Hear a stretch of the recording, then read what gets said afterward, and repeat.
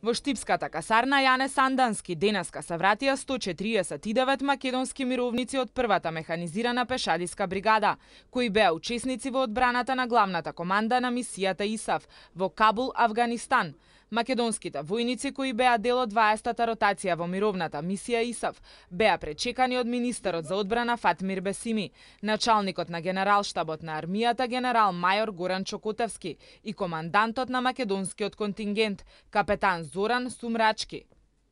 Министерот Бесими истакна дека за македонските војници од првата механизирана пешадиска бригада добил највисоки оценки од страна на првите луѓе на мисијата ИСА во Афганистан. Началникот на генералштабот на армијата на Македонија, генерал мајор Котески, упати благодарност и големо признание за војниците и истакна дека покрај учеството во НАТО мисиите и на Европската Унија, Македонската армија ќе го разгледа и ставот и ќе донесе одлука за поголемо учество на македонските војници во мисиите под погровителство на Обединетите нации.